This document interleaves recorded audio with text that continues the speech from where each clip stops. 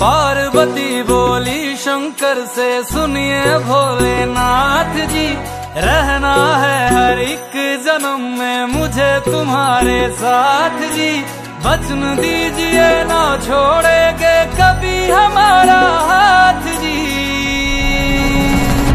ओ भोलेनाथ जी, ओ शंभुनाथ जी, ओ भोलेनाथ जी। जैसे मस्तक पे चंदा है। गंगा बसी जटाओं में। वैसे रखना है अविनाशी, मुझे प्रेम की छाओ में। कोई नहीं तुम सा तीनों लोकों में, दशो दिशाओं में। महलों से ज़्यादा सुख है कैलाश की खुली हवा में। तुम हो जहाँ बहा होती है